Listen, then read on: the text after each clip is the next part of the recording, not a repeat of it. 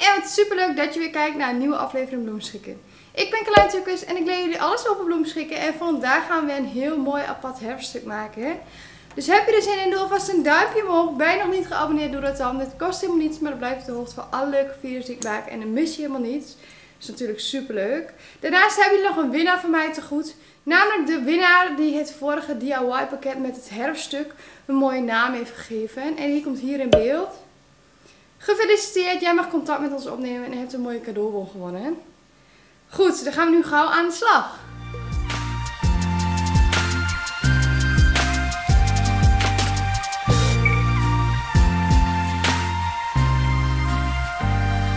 Wil je dit pakket bestellen? Hieronder in de beschrijving vind je een linkje waar je het complete pakket kan bestellen. Of ga naar www.uonlinebloemist.nl, daar vind je onder kopje cursuspakketten.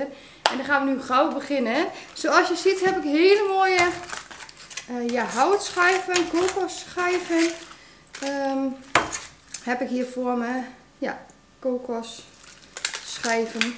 En daar gaan we mee aan de slag. Dus dat is natuurlijk super leuk. Ik heb ook onderschaaltjes en daarop gaan we straks oase verwerken. De onderschaaltjes lijm ik even vast op de houtschijven. En daartussen doen we straks um, oase. Die steken we mooi vol. En dan komt er nog een laag over, bovenop. Om het net even helemaal af te maken en apart te maken. Dus dat ga ik eerst doen. Ik haal jullie even iets dichterbij. Dan kunnen jullie precies zien wat ik doe. Allereerst lijmen we dus um, de schaaltjes vast op de houtschijven. Dat doe ik gewoon met een drupje lijm.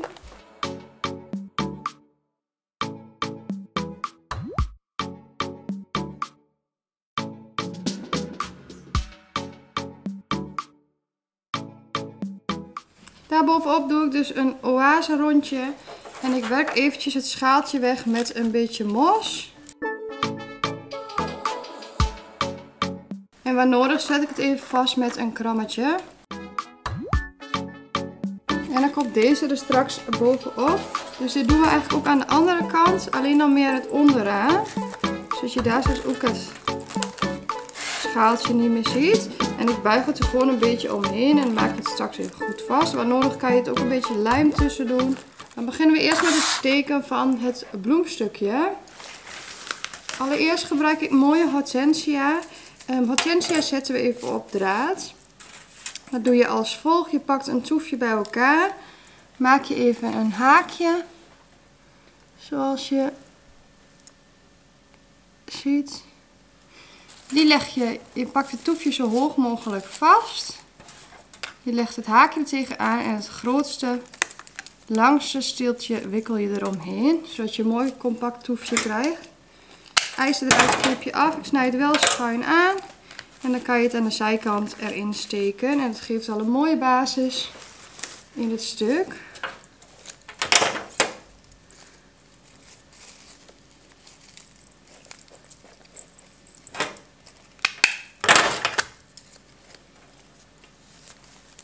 En dit verdeel ik op drie plekken er rondomheen.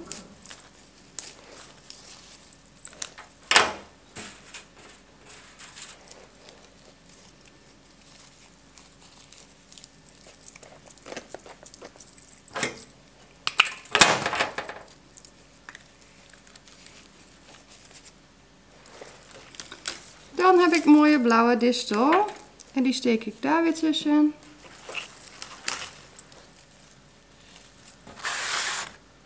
En die doe ik ook op drie plekken.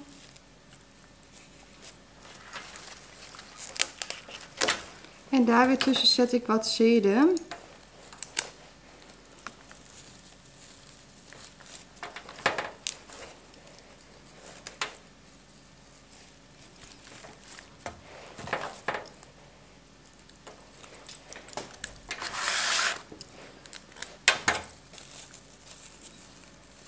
Zoals je ziet vult de zijkant dan al mooi. Dan heb ik wat mooie roze botteltakken. Nou, dit is natuurlijk echt herfst. En deze steekt er mooi compact in. Ook weer op drie plekken er rondomheen. Het zal er straks mooi speels uitspringen. En wat ik ook mooi vind is heide. Um, daar verwerk ik gewoon even het ondersteeltje maak ik schoon en verwerk ik het er fijn tussen. Komt gewoon van een plantje. Maar geeft wel die hele mooie herfstkleur, die warme roze tint. En is natuurlijk super sterk, want dit droogt eigenlijk allemaal mooi in. Het kan allemaal mooi indrogen.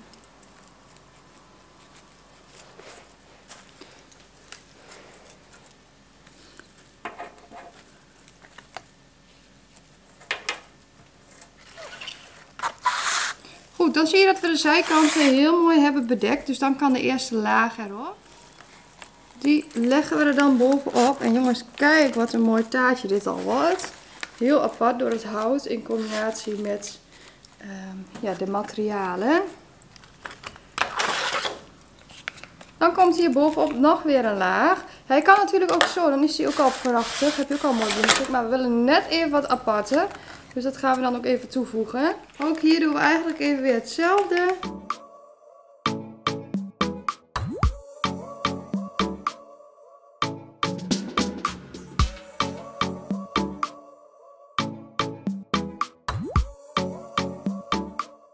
Staat er nu natuurlijk nog een beetje uh, los op, maar straks gaan we dat ook vastzetten. Hier bovenop zetten we gewoon weer een stukje oase. En daar komt straks deze weer bovenop. En die werken we dus ook weer af met mos. Even zorgen dat het goed worden van pizza wordt.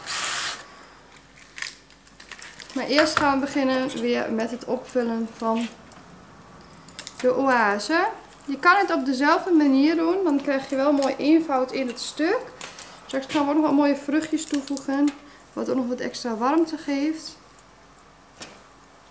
Je kan het natuurlijk ook helemaal anders doen. Is net wat je zelf leuk vindt.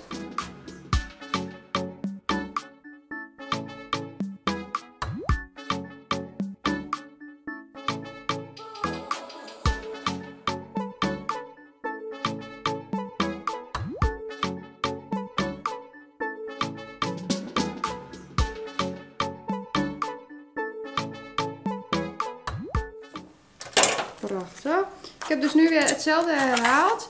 En dan komt deze er weer bovenop. En we willen natuurlijk eventjes het schaaltje weggewerkt hebben. En omdat hij op de kop komt, gaan we ook even kijken hoe je dat mooiste kan wegwerken. Je plakt dus eigenlijk de, mos er uh, wat tussen, zodat je echt het schaaltje niet meer ziet. Dus eigenlijk op de kop. En dan even met een beetje lijm, zodat het niet meer zichtbaar is. Het kan zijn dat jullie op de achtergrond in nog geluid horen. Ze zijn hiernaast aan het verbouwen. Dus... Um, dus aardig wat lawaai, maar aangezien ze dat elke dag aan het doen zijn. En ik toch een video voor jullie wil opnemen. Maar dan weten jullie waar het geruis als het ware vandaan kwam wat je hebt afgegrond hoort. En dan kan die er bovenop. En nu zit alles natuurlijk nog uh, wat los. Dus wat we gaan doen, en daarmee maak je hem ook heel apart en maak je diepte is hem uh, vastmaken met touw. Dus we maken wikkelingen om het touw heen. Dus er helemaal dwars omheen. En dat doe ik met mooi jute touw. Dat maakt het ook heel apart.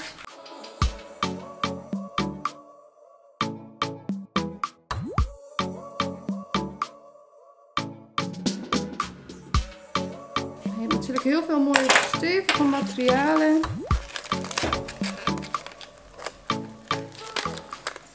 En je kan de wikkeling zo vaak maken als je wil. Je kan het alleen naar beneden doen. Je kan het er dwars overheen doen. Wat jij daarin het mooist vindt. Dus speel daar gewoon mee. Nou, een mooi pakketje is het toch? Je kan nog eventjes een beetje recht drukken waar nodig. Dan heb ik nog wat vruchtjes. Om eventjes nog wat extra kleur en uh, herfst aan te brengen. Deze zet ik eventjes op een stokje. Dus gewoon op een satierprikker. En die kunnen we dan gewoon in de oase steken. En die verdeel ik er in het stuk.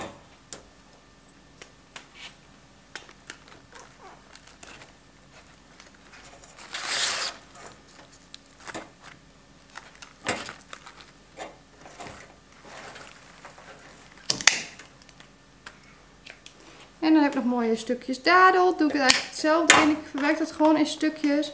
Ik zet het even vast met een krammetje of een beetje lijm kan ook. Je kan hem ook wat meer in de houtschijven uh, lijmen. Maar het voordeel aan de oase is dat je natuurlijk het gewoon daarin kan verwerken.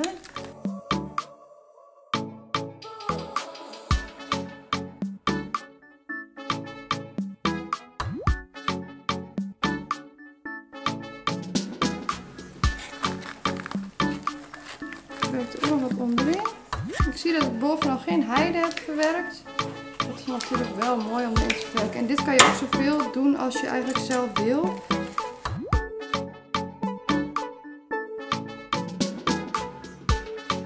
Dan heb ik nog wat appeltjes. Ook deze kan je gewoon op een satéprikker zetten.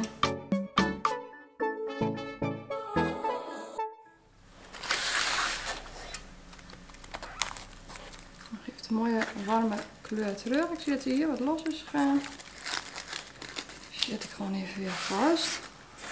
Dan heb ik nog wat vruchtjes en die doe ik wat meer in de hout schijven. Dus daar zet ik het in tussen.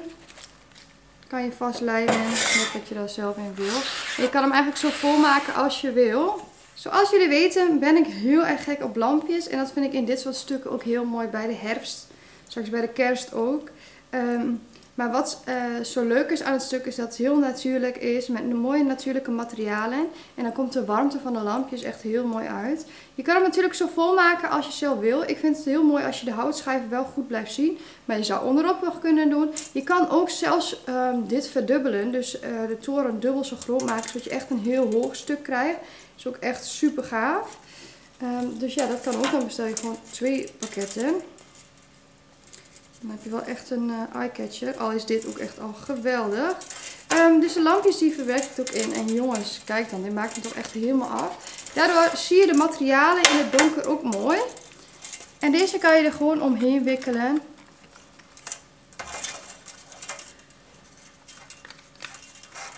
En dit zijn allemaal hele sterke materialen. Dus je hebt echt heel lang plezier van. En eigenlijk droogt ook alles, kan eigenlijk alles mooi indrogen. Mits ze goed zijn verwerkt. En het lampje wil ik eigenlijk een beetje mooi wegwerken. Dus die doe ik een beetje achter het mos, zodat je hem niet ziet. En dan hebben we toch echt een plaatje. Kijk dan. Een heel apart en sterk stuk. En helemaal in de herfstkleuren met de herfstmaterialen van de dadeltakken. Roze bottel, appeltjes, vruchtjes. Ja, super mooi. Het heide. Nou ja, en je kan hem dus helemaal naar eigen stijl maken. Dus dat is heel erg leuk. Wil je dit pakket nu bestellen? Hieronder in de beschrijving vind je een linkje waar je het complete pakket kan bestellen. Of ga naar www.uonlinebloemist.nl. Dan vind je onder kopje cursuspakketten. Wees snel bij, want op is weer op. En we verzenden door heel Nederland, België en Duitsland. Vond je het leuk? Doe even een duimpje omhoog. En laat even een leuke reactie achter wat jij hiervan vond. Of wat jij graag wil leren. Uh, nu nog met de of herfstperiode. Of misschien straks richting de kerst. Super leuk om even te lezen. En wie weet neem ik jouw ideeën dan wel mee. En je kan me ook volgen op Facebook of Instagram. Of heb je iets gemaakt naar aanleiding van mijn video's, kan je dat ook delen. En mij erin zeggen. Dan maak je elke maand kans op een cadeaubon te waarde van 15 euro. En dan wil ik jullie weer bedanken voor het kijken. En dan zien we mij de volgende keer weer. Doei!